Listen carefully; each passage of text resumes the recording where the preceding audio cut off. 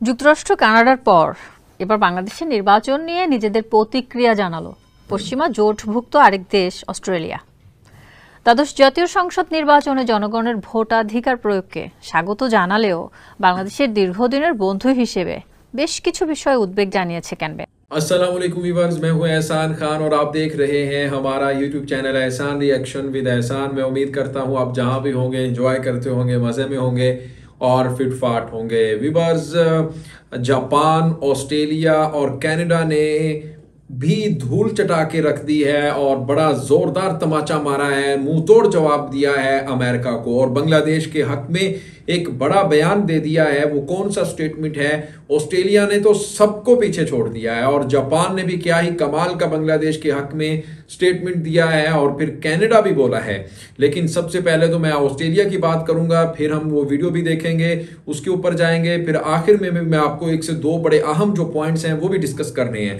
Number one जी, जो Australia है, उसने कहा है कि लाखों वोटर्स ने वोट डाले हैं, हम उनकी कदर करते हैं, हम उनकी रिस्पेक्ट करते हैं हम उनको वेलकम करते हैं और जो नया वज़ीर आज़म बनेगा, यानी शेख हसीना ही बनेगी तो उसको हम वेलकम करते हैं, जो भी नई हुकूमत बनेगी, हम उसके साथ मिलकर काम करने के लिए तैयार हैं। ये मैं कहता हूँ कि बहुत बड़ी स्टेटमेंट है और फिर ऑस्ट्रेलिया ने इससे बढ़कर और भी बहुत कुछ कहा है। अमेरिका के लिए मैं कहता हूँ कि एक जोरदार झटका है, एक बर्र आज़म है, बहुत बड़ा बर्र आज़म ऑस्ट्रेलिया है और उस बर्र आज़म में बांग्लादेश की जो एक्सपोर्ट्स है, वो फ्री हो रही है।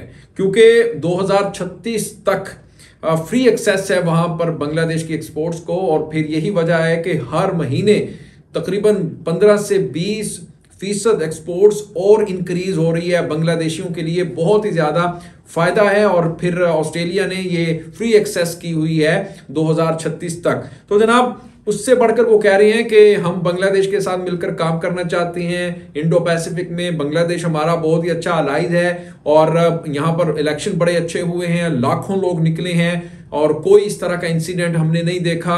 इलेक्शन डे वाले दिन, यानी सात जनवरी को, और बहुत ही साफ़ और शफाफ इलेक्शन हुए हैं। इस तरह से मैं कहता हूँ कि जो स्टांस अपनाया हुआ था, अमेरिका ने उसको एक बड़ा झटका लगा है। अमेरिका के बयानिए को बड़ा जोरदार झटका दिया है जनाब ऑस्ट्रेलिया ने। अब दूसरी खबर सुन लें जी।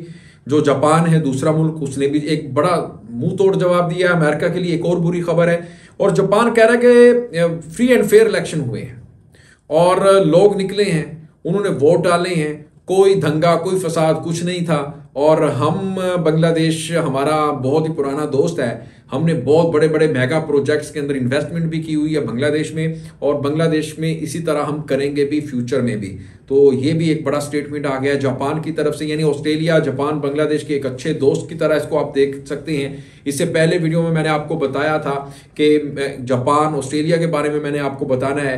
कनाडा के बारे में भी बताना है कि उन, उन, उनका एक बड़ा स्टेटमेंट सामने है लेकिन वॉल स्ट्रीट जर्नल ने जिस तरह की इनकी धुलाई की है और फिर जो बाइडन सरकार की की है वो तो सबके सामने है। लेकिन जी अब मैं आपको बता देता हूँ कि जो कैनेडा है, उसने क्या कहा? है कैनेडा ने एक चीज़ कही है कि बांग्लादेश की जो अपोजिशन है, उसने बाइकआउट किया है, इस पर हम दुखी हैं।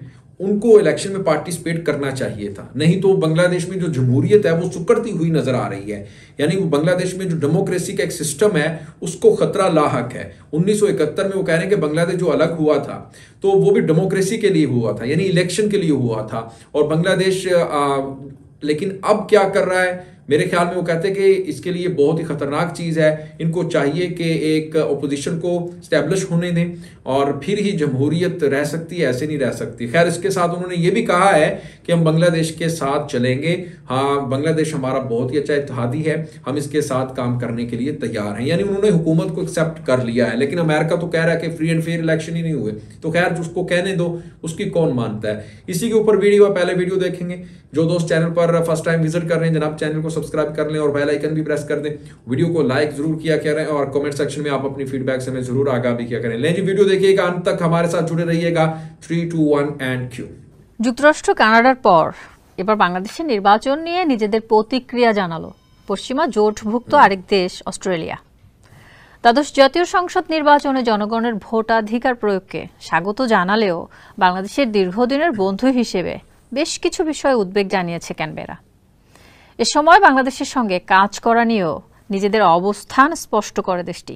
বিস্তারিত ডেস্ক বাংলাদেশের নির্বাচন নিয়ে শুরু থেকেই আগ্রহের ঘাটতি ছিল না পশ্চিমা দেশগুলোর মধ্যে। দ্বাদশ জাতীয় সংসদ নির্বাচনের ফল ঘোষণার পর পৃথক প্রতিক্রিয়া দেখিয়েছে যুক্তরাষ্ট্র, কানাডা সহ বেশ কয়েকটি দেশ।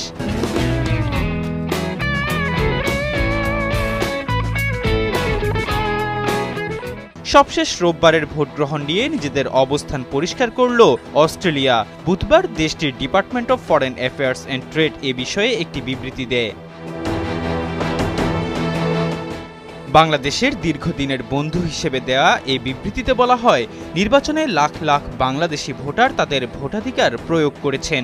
এই বিষয়টিকে স্বাগত জানায় অস্ট্রেলিয়ার সরকার। ঘনিষ্ঠ অংশীদার হিসেবে অস্ট্রেলিয়া একটি উন্মুক্ত, স্থিতিশীল, সমৃদ্ধ ও অন্তর্ভুক্তিমূলক অঞ্চলের জন্য অভিন্ন লক্ষ্য অর্জনে বাংলাদেশের সঙ্গে কাজ করতে প্রতিশ্রুতিবদ্ধ।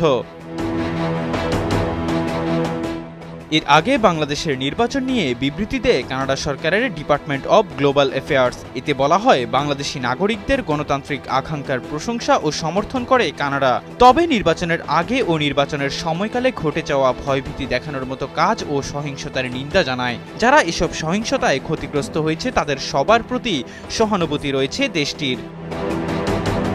নির্বাচনে সব দলের অংশগ্রহণ ছিল না বলেও জানায় তারা। তবে ভোট সুষ্ঠু হয়েছে উল্লেখ করে নবনির্বাচিতদের অভিনন্দন জানিয়েছে ভারত, চীন রাশিয়া সহ বেশ কয়েকটি দেশ। तो जनाब, आपने ये वीडियो देखी और इस वीडियो में जिस तरह से बताया जा रहा है कि जो ऑस्ट्रेलिया है, वो बहुत ही खुल खलाकर सामने आया है और बांग्लादेश के हक में बात कर रहा है और वो कह रहा है कि बांग्लादेश में बहुत ही साफ़ और शफाफ इलेक्शन हुए हैं। कोई किसी किस्म का दंगा, फसाद कुछ नहीं था। लाखों लोग बाहर निकले हैं। इन लाखों लोगों की जो वोट सिस्टम है या फिर लाखों लोगों ने जो वोट डाला है, इनको रिस्पेक्ट देनी होगी, इनको अहमियत देनी होगी और इनको कबूल करना होगा। और वो यही बात करते हुए नज़र आ रहे हैं कि हम जनाब बांग्लादेश की न्यूली जो भी गवर्नमेंट बनेगी, उसके साथ खड़े हुए हैं। फिर जापान भी इसी तरह कह रहा है, वो भी मान रहा है, लेकिन कैनेडा मान भी रहा है, नहीं भी मान रहा। लेकिन उसने ये नहीं कहा कि इलेक्शन को हम नहीं मानते। लेकिन उसने एक चीज़ के ऊपर थोड़ा सा हल्का सा ज़ोर दिया है। वो कह रहे हैं कि अपनी ऑपोजिशन को भी स्टैब्लिश होने दें और उनको भी इलेक्शन लड़ने दें। और इसके लिए न सिर्फ़ आपका, बल्कि बांग्लादेश का भला है, क्योंकि इसके ऊपर कोई भी किसी भी किस्म का मिलिट्री कू नहीं हो सकता अगर आपकी स्टैब्लिशमेंट मज़बूत होगी। इससे जमहूरियत भी मज़बूत होगी। नाजीन मुझे नहीं इजाज़त और अपना बहुत ज़्यादा ख्याल रखिएगा। नेक्स्ट वीडियो तक, तब तक के लिए अल्लाह हाफिज़।